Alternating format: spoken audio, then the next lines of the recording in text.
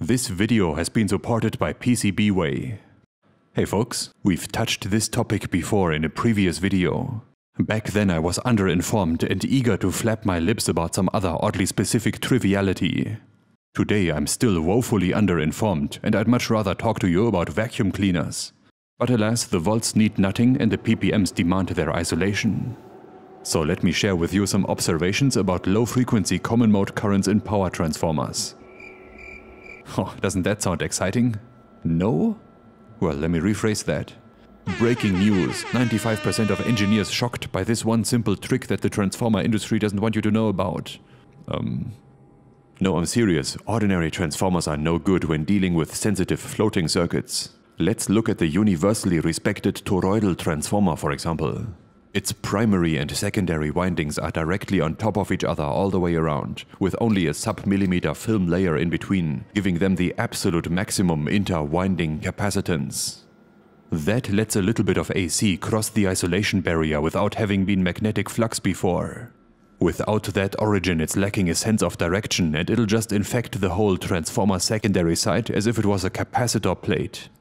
It'll be eager to leave though, no matter through which wire.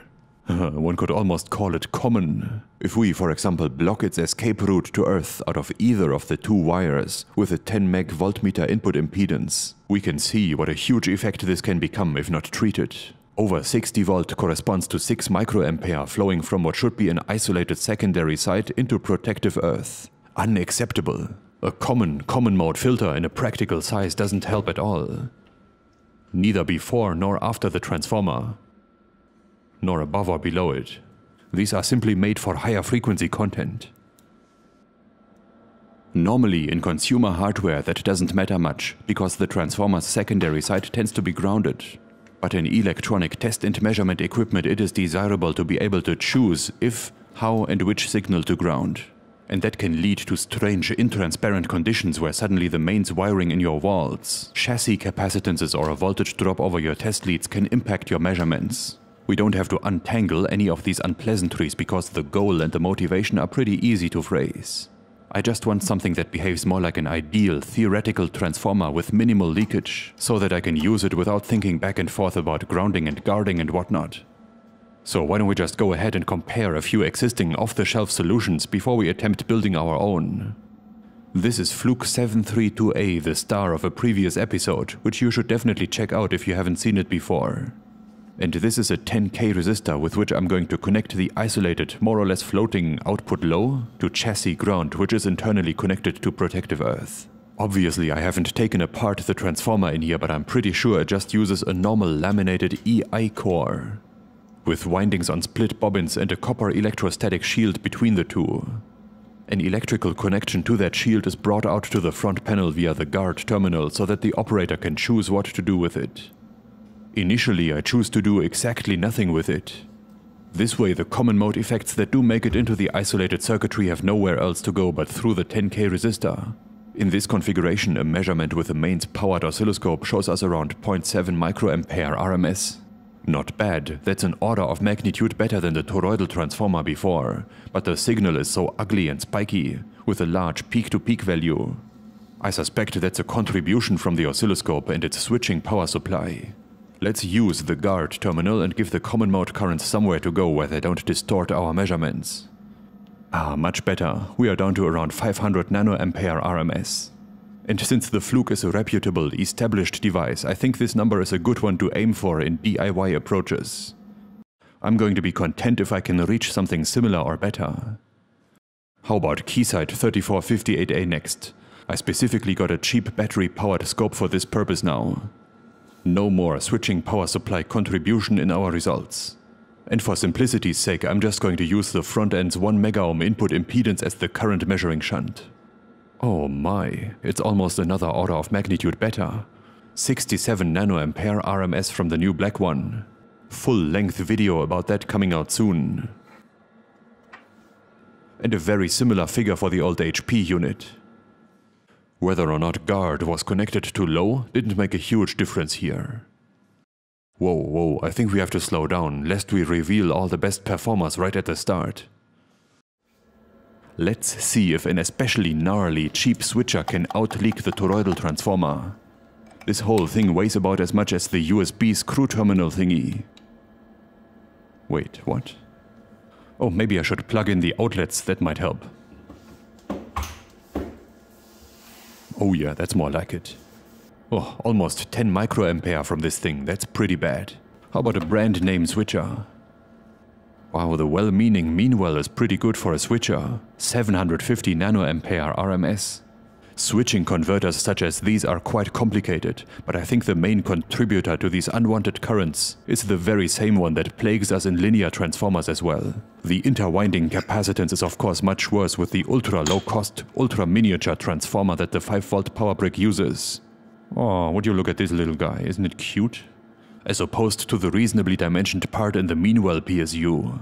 Following this, I would postulate that DC to DC converters with the highest available withstanding isolation voltages could also very well be good common mode performers.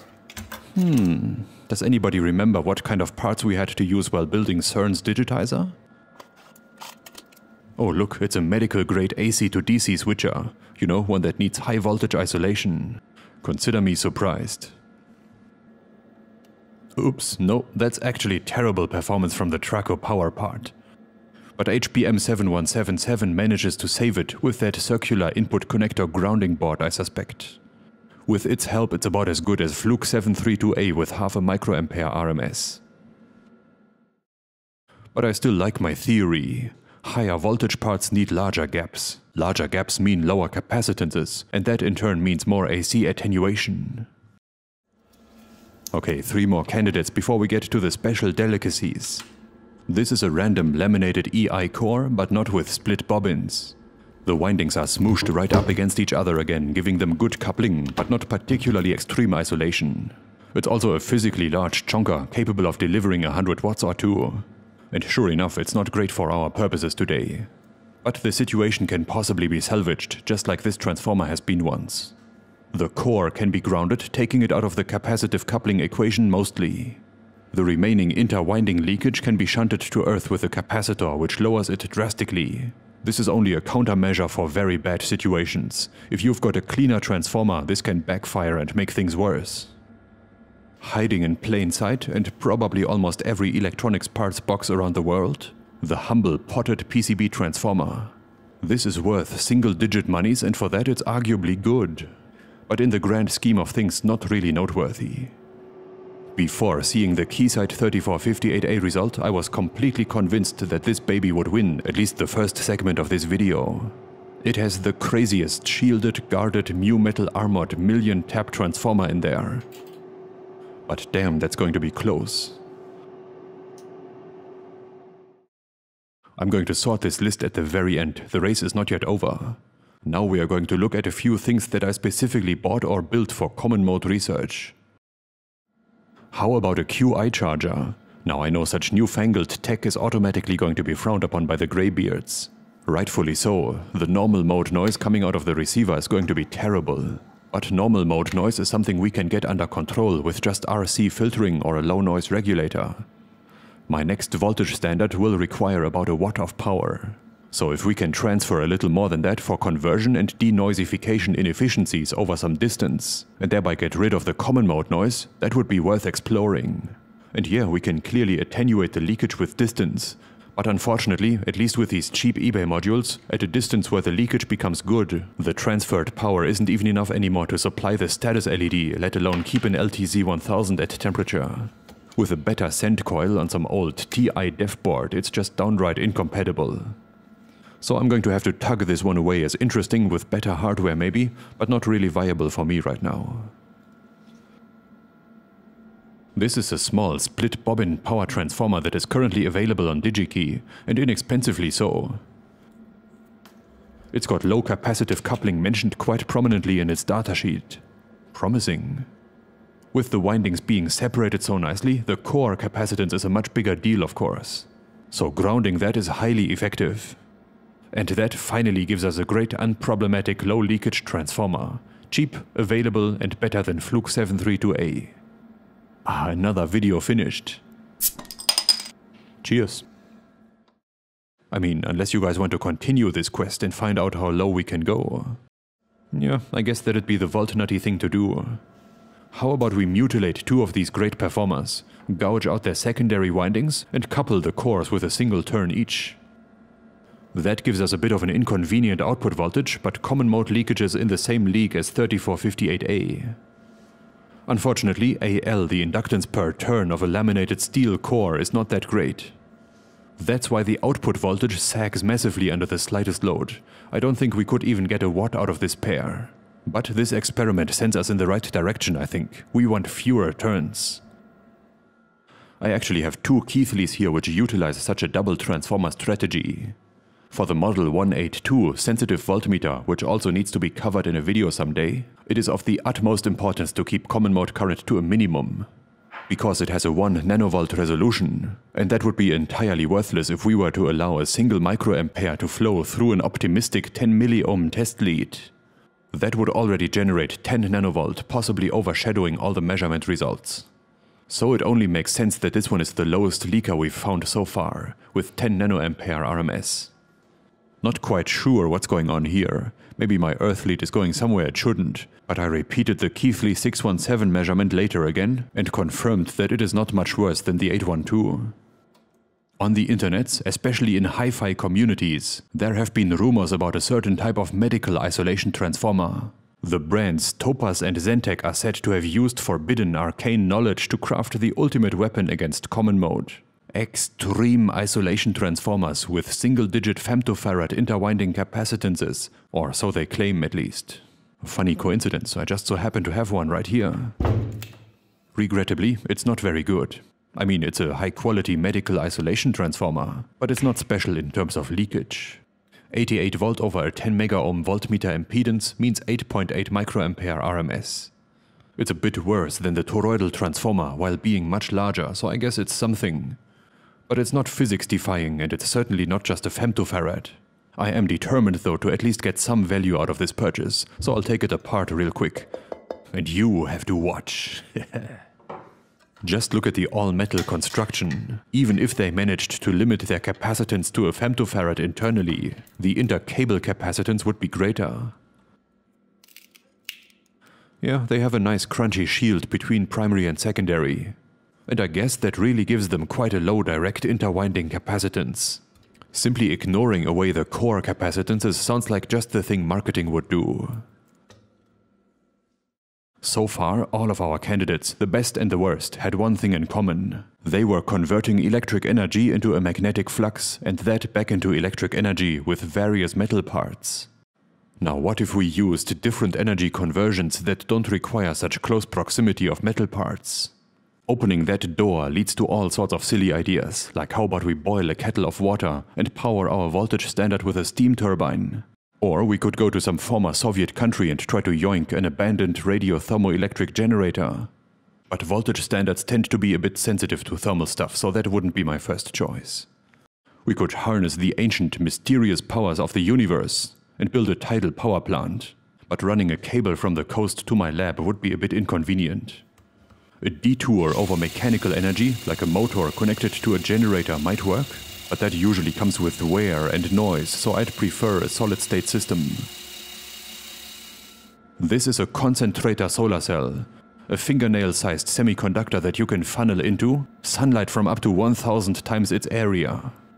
This tiny chip from German company Azur Space can supposedly collect up to 40 watt if you cool it enough. That's not only something I would like to cover my roof in, but it's also just about compact enough to become a DC to DC converter. 3 watt LED power goes in, solar cell and LED inefficiencies are subtracted, and boom, we get the most beautifully isolated leftover watt ever. That was the plan at least.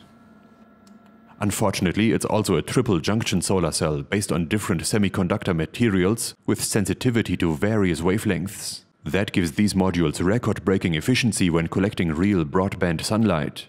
But the monotonic output from a cheap power LED just doesn't satisfy. In fact, putting an infrared LED on the collector to target the band of peak efficiency makes the output drop to near zero. That's because if one of the junctions feels left out, it doesn't want to conduct anymore. So I guess we'd have to go with some organically grown high CRI solution. But even then it's tricky. Optical coupling tricky, maximum power point tracking tricky, heat generation undesirable, and so forth. But for solar power, certainly interesting. I have kind of introduced the irrefutable universal cure very early in this video.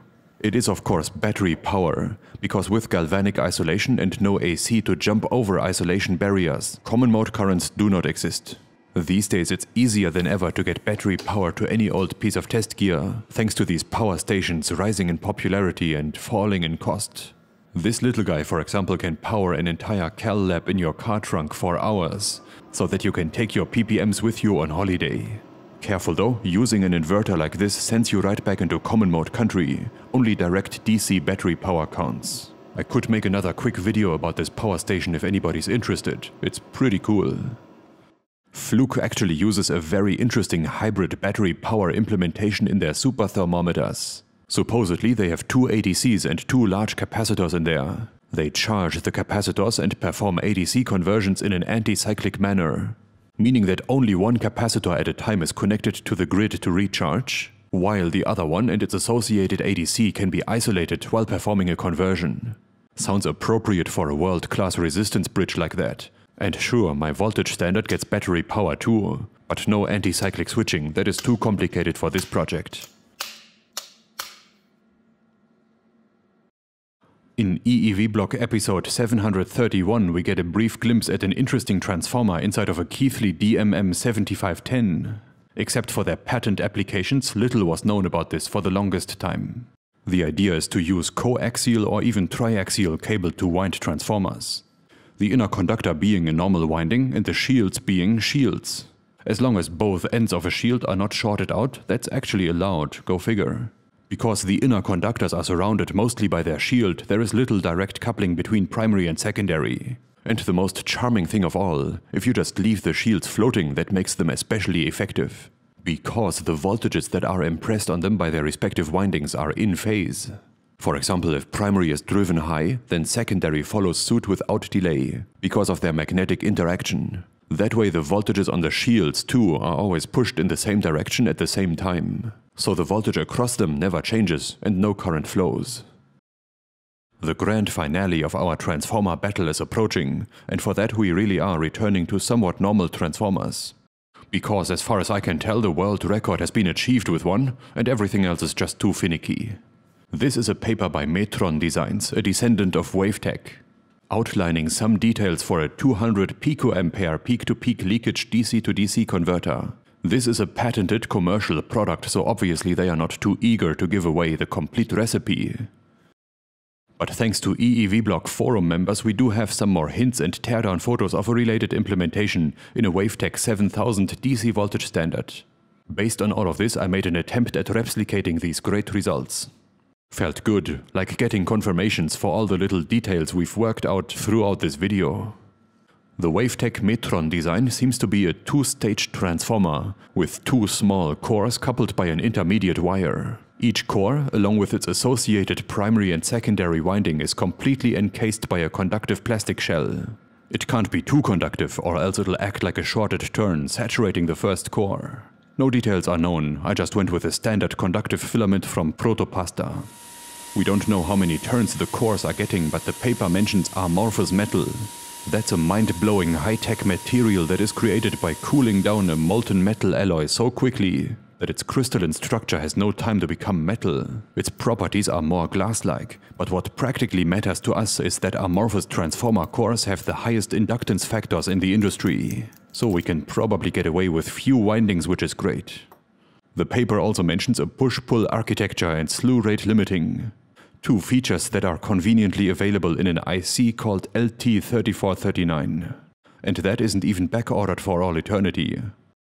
So I quickly whipped up a circuit board based on that part, pasted an LTZ1000 circuit next to it, and sent it off to be lovingly manufactured by our sponsor PCBWay. They've been a great partner and helped make this project a reality with a record-breaking turnaround time. My design files were checked for manufacturability and approved within 10 minutes after uploading them. The actual production process and the delivery were lightning quick as well, truly a refreshing experience nowadays. PCBWay is now hosting a community projects hub, where you can not only learn about other interesting engineering endeavors that they have supported, but also browse popular open hardware projects or share your own, and get a small commission whenever somebody orders your boards. Of course, my next 10 volt standard will also be here, the link will be in the video description. Meanwhile, the delivery has arrived. As a side dish, I've added a hastily designed first generation battery module to this order. No idea if that'll work the way I imagine or if it'll blow up right away. So no gold plating or anything on this one. The main board, however, has seen quite a few iterations and I'm beginning to feel confident about it. Today though, I only want to focus on the right half, where our quest for truly extreme isolation is going to find its conclusion. Hope you don't mind if I use an older version to demo the Metron Wavetek inspired transformer on. This version is not yet pretty, it was a playground, but it's equipped with the LT3439 already. Now we have constructed a DC to DC converter, but we can't really assign an objective number to quantify its common mode leakage. Because what this does is attenuate the common mode leakage of the mains power supply before it. So we should probably give it an attenuation value in decibel. I think. That should come out to around minus 31 decibel if I have mathed that correctly. But don't trust me on this, as a DC person I hardly know what a decibel is. And at any rate there are plenty of possibilities for improvements still waiting to be explored. For comparability with the rest of the list I'm just going to add two results, one with a good and one with a bad mains power supply before it. It's also worth noting that this haphazardly constructed transformer can deliver over 5 watt without overheating the driver chip. With better construction probably even more than that. So bottom line, when being fed by anything better than the absolute worst leakers, this is a great performer. When combined with one of the better mains power supplies on the list, the result is easily number one. But there are a few things that I don't like about it, like the involvement of 3D printed parts, the difficult and fragile assembly, and the fact that it might still be copyrighted. So my final solution is different yet again. It is inspired in small parts by all of the best solutions we've tested today. And in a large part by a fellow Voltnut from Poland who's shown me these huge amorphous toroidal cores. They may seem outrageously large on the board, but in a way they do more for us even than the 30 kilogram medical isolation transformer could have. For the windings I'm using a foil shielded twisted pair. I don't need many because of the absolutely enormous AL value of these cores. For a 1 watt load, how about 2 maybe? Mechanically, this approach is implemented in accordance with the KISS principle. I'm just going to cable tie the transformer to the board. That'll be all but indestructible, I think. And here's how the end result is going to look. I'm still waiting for some proper copper binding posts for the front panel, but apart from that, we are ready to go. Mm, it didn't quite behave the way I had hoped, because a few minor mistakes have slipped through the last revision. Nothing a bit of mild, superficial rework couldn't fix. Now it gets the same treatment as the previous DC to DC converter. First a horrible mains power supply, to estimate the attenuation. Hmm, it's also in the 30 decibel neighborhood. I wonder if the transformers are so good that my PCB clearances are becoming the limiting factor. I'll try to add more in the next revision, that's for sure. But for now, I'm getting 24 nanoampere RMS out of this super cheap and simple construction, if it has a somewhat decent mains power supply before it. That is much better than I had hoped to achieve today, so I'll gladly submit that as my result to the list. Please leave a comment below if you have some interesting data points to add to this. You really only need a battery-powered oscilloscope with a known input impedance to measure these values. But honestly I'm not sure how long my enthusiasm for this niche, and therefore my resolve to maintain this list is going to survive. Alright, time for the moment of truth. Time to sort things out. Oh yeah, our solution is on place 5 or 6, depending on which value we sort by. We are less leaky than Keysight 3458A, and there are still plenty of opportunities for improvement left unexplored. But I think I'll leave that to somebody else. The left side of my voltage standard needs attention now. It may come as a surprise to you, but this board isn't only a weak, lossy DC to DC converter. It also regulates 12 volt down to 10, isn't that amazing? I think so too. And if we aren't nuking ourselves into oblivion until then, I'll be sure to record another 20 minute monologue about it. That's it for today though. Thank you for watching.